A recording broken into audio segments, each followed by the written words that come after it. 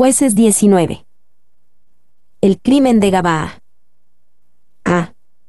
El levita y su concubina. 1. 1. Un levita toma una concubina. En aquellos días, cuando no había rey en Israel, hubo un levita que moraba como forastero en la parte más remota del monte de Efraín, el cual había tomado para sí mujer concubina de Belén de Judá. A. No había rey en Israel, esto fija el escenario para la terrible historia de los siguientes capítulos. Lo que significa no había rey en Israel es más que la ausencia de un monarca político. También significaba que ellos se rehusaban a reconocer el liderazgo de Dios sobre ellos. Y lo que se desarrolla en el resto de este capítulo es tan desagradable que el comentarista F.B. Meyer recomienda que no se lea. Al comentar sobre este primer versículo, él escribió, sería suficiente el ponderar estas palabras, la cual ocurre cuatro veces en este libro, sin leer más de este terrible capítulo, la cual muestra la profundidad de la depravación la cual se hunde apartado de la gracia de Dios. B. Había tomado para sí mujer concubina. La concubina de Levita era reconocida como su compañera legal, pero ella no tenía el mismo estatus como lo tiene la esposa en el hogar o en la sociedad. Y, en este sentido, una concubina era una amante legal, Muchos hombres prominentes del Antiguo Testamento tuvieron concubinas. Los ejemplos incluyen a Abraham, Génesis 25, 6, Jacob, Génesis 35 horas y 22 minutos, Caleb, 1 Crónicas 2.46, Saúl, 2 Samuel 3.7, David, 2 Samuel 5.13, Salomón, 1 Reyes 11.3 300 concubinas, y Roboam, 2 Crónicas 11.21. Significativamente, jamás vemos a este tipo de vida familiar bendecida por parte de Dios. 2. El Nuevo Testamento pone en claro que, desde el principio, el plan de Dios fue de un hombre y una mujer estuvieran unidos en una sola carne. Para siempre, Mateo 19, 4-6, y cada hombre debe ser un hombre de una sola mujer. 1 Timoteo 3, 2. 2, 2 a 4, el levita se reconcilia con su concubina después de que ella comete adulterio. Y su concubina le fue infiel, y se fue de él a casa de su padre, a Belén de Judá, y estuvo allá durante cuatro meses. Y se levantó su marido y la siguió, para hablarle amorosamente y hacerla volver, y llevaba consigo un criado, y un par de asnos, y ella le hizo entrar en la casa de su padre. Y viéndole el padre de la joven, salió a recibirle gozoso, y le detuvo su suegro, el padre de la joven, y quedó en su casa tres días, comiendo y bebiendo y alojándose allí. A. La siguió, para hablarle amorosamente y hacerla volver. Aquí el levita fue un ejemplo de cómo un marido ofendido debería de actuar cuando hay adulterio. Aunque ella quebrantó el lazo entre ellos, él trabajó duro para traer de nuevo la relación con ella, y tuvo éxito. Y Jesús nos dijo que el divorcio jamás es ordenado cuando hay adulterio, Mateo 19:8. Si un compañero en el matrimonio ha pecado en contra del cónyuge por medio del adulterio, estos deberían de trabajar para hacer que el matrimonio sobreviva y tenga éxito de la mejor manera que lo puedan hacer. B. Y viéndole el padre de la joven, salió a recibirle gozoso. Quizás el padre estaba gozoso al ver a Levita y a su hija juntos otra vez, o quizás el padre simplemente estaba gozoso de tener a su hija de nuevo en su casa. 3, 5 a 10. El padre de la concubina extiende la visita con una tradicional muestra generosa de hospitalidad. Al cuarto día, cuando se levantaron de mañana, se levantó también el levita para irse, y el padre de la joven dijo a su yerno, Conforta tu corazón con un bocado de pan, y después os iréis. Y se sentaron ellos dos juntos, y comieron y bebieron. Y el padre de la joven dijo al varón, yo te ruego que quieras pasar aquí la noche, y se alegrará tu corazón. Y se levantó el varón para irse, pero insistió su suegro, y volvió a pasar allí la noche. Al quinto día, levantándose de mañana para irse, le dijo el padre de la joven, Conforta ahora tu corazón, y aguarda hasta que decline el día. Y comieron ambos juntos. Luego se levantó el varón para irse, él y su concubina y su criado. Entonces su suegro, el padre de la joven, le dijo, He aquí ya el día declina para anochecer, te ruego que paséis aquí la noche. He aquí que el día se acaba, duerme aquí, para que se alegre tu corazón. y mañana os levantaréis temprano a vuestro camino y te irás a tu casa. Mas el hombre no quiso pasar allí la noche, sino que se levantó y se fue, y llegó hasta enfrente de Jebús, que es Jerusalén, con su par de asnos ensillados y su concubina. A, al cuarto día, esta porción explica él por qué el levita y su concubina fueron retrasados en Belén, en la casa del padre de la concubina.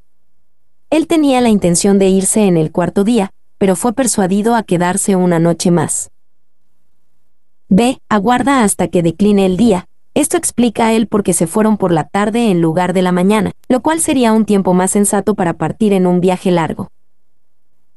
4. 11 a 15. Regresando a casa, el levita y la concubina deciden pasar la noche en Gabaa. Y estando ya junto a Jebús, el día había declinado mucho, y dijo el criado a su señor, Ven ahora, y vámonos a esta ciudad de los Jebuseos, para que pasemos en ella la noche. Y su señor le respondió, No iremos a ninguna ciudad de extranjeros, que no sea de los hijos de Israel, sino que pasaremos hasta Gabaa. Y dijo a su criado, Ven, sigamos hasta uno de esos lugares, para pasar la noche en Gabá o en Ramá. Pasando, pues, caminaron, y se les puso el sol junto a Gabá que era de Benjamín. Y se apartaron del camino para entrar a pasar allí la noche en Gabá, y entrando, se sentaron en la plaza de la ciudad, porque no hubo quien los acogiese en casa para pasar la noche. Ah, no iremos a ninguna ciudad de extranjeros. El levita y su concubina consideraban a una ciudad pagana como peligrosa. Ellos, por lo tanto, fueran a Gabaa, una ciudad de Israel, porque pensaron que estarían más seguros allí. B. No hubo quien los acogiese en casa para pasar la noche. El levita y su concubina no hallaron hospitalidad en Gabaa. Esto refleja mal en el pueblo de Gabaa, debido a que Dios ordenó tal hospitalidad entre él. Pueblo de Dios. Levíticos 19, 33-34, Levíticos 25 horas y 35 minutos, Mateo 25 horas y 35 minutos, Hebreos 13:2. Hay algo mal cuando no hay tal hospitalidad entre el pueblo de Dios. 4. 16 a 21. Finalmente, un compañero de Efraín les encuentra y les extiende hospitalidad. Y he aquí un hombre viejo que venía de su trabajo del campo al anochecer, el cual era del monte de Efraín, y moraba como forastero en Gabaa, pero los moradores de aquel lugar eran hijos de Benjamín y alzando el viejo los ojos, vio a aquel caminante en la plaza de la ciudad, y le dijo, ¿A dónde vas? ¿Y de dónde vienes? Y él respondió, Pasamos de Belén de Judá a la parte más remota del monte de Efraín, de donde soy, y había ido a Belén de Judá, mas ahora voy a la casa de Jehová, y no hay quien me reciba en casa. Nosotros tenemos paja y forraje para nuestros asnos, y también tenemos pan y vino para mí y para tu sierva, y para el criado que está con tu siervo, no nos hace falta nada. Y el hombre anciano dijo, Paz sea contigo, tu necesidad toda quede solamente a mi cargo, con tal que no pases la noche en la plaza. Y los trajo a su casa, y dio de comer a sus asnos, y se lavaron los pies, y comieron y bebieron. Ah, el cual era del monte de Efraín. La única persona que le extendió hospitalidad a Levita y su concubina fue un hombre de su propia región. Ninguno de los nativos del pueblo de Gabaa tuvieron preocupación por los extraños en medio de ellos. B. Más ahora voy a la casa de Jehová. Recordamos que la casa de Jehová no estaba en Jerusalén, sino en Silo. Jueces 18:31. D. El crimen de Gabaa. 1. 22. Su demanda pervertida.